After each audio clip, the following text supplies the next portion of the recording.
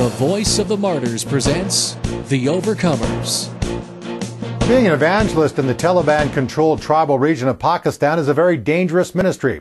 But Yaqub, not his real name, is willing to risk his life to spread the gospel, knowing the great risk of spreading God's word.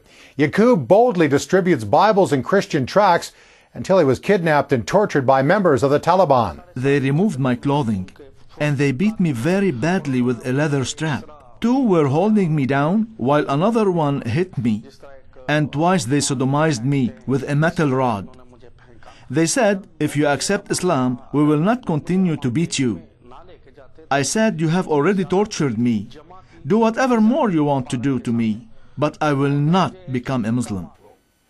Eventually, a Muslim friend helped Yaqub escape the Taliban camp. For more information on the ministry of the Voice of the Martyrs, please visit our website at persecution.net.